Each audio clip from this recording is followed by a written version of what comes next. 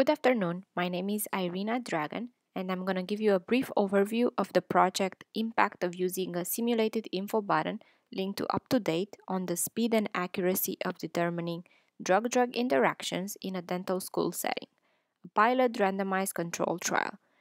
Before we proceed, I wanted to acknowledge my mentors, Dr. Stark, Dr. Newman, Dr. Stephenson, and the principal investigator of the project, Dr. Karin Box. We're going to start with a clinical scenario. Patient presents in the dental chair, and while we are recording the medical history, some of the medication we are not familiar with, and we are wondering are there any drug drug interactions that we should be aware of? There are three different resources that we can look up that information. In the medical field, there has been already a tool that was proven to answer clinical questions at the point of care in a timely manner with a high level of user satisfaction. That is called Info Button and uh, is usually linked with different platforms that contain the latest evidence, and one of them is UpToDate. The question that we're asking, asking today is if Info Button can provide answers to clinical questions at the point of care in a timely manner, but this time in the dental setting. We enrolled participants, third year dental students, and we designed a pilot randomized control trial. We compiled four virtual cases with significant treated medical condition, and we used examination forms to evaluate the drug drug interactions.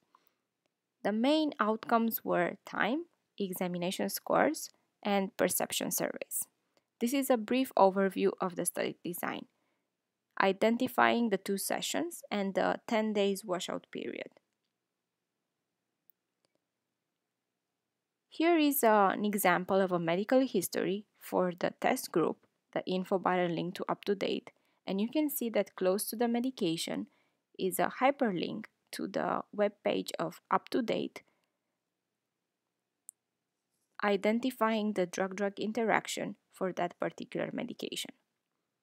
On the left side of the screen, you can see how using the Qualtrics platform, we managed to measure the time and also a sample of the perception survey. In terms of the results, we can see here that for the four different cases, what was the time that was recorded in order to identify the drug-drug interaction. For case 1, you can see that for the test group, took slightly longer than for the control. For the case 2, the situation changed and this time the subjects that were using info button were faster. Similar situation happened for uh, the session number 2. So basically, once the subjects became familiar with the tool, it took them less time to identify the correct answers.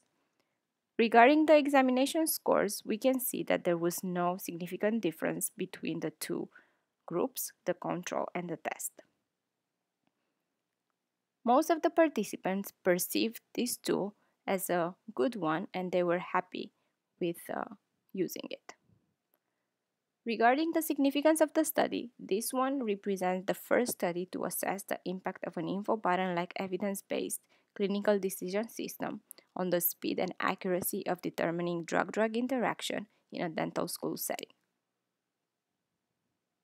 This investigation demonstrates that a simulated info button linked to UpToDate can provide answers to questions on drug-drug interactions at the point of care in a time frame comparable to using general internet resources.